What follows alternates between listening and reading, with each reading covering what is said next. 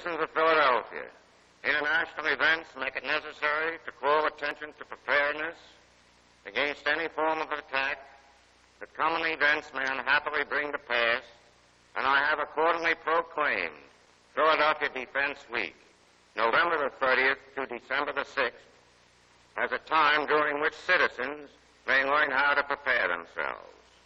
Director Greg I name you General Chairman of Philadelphia.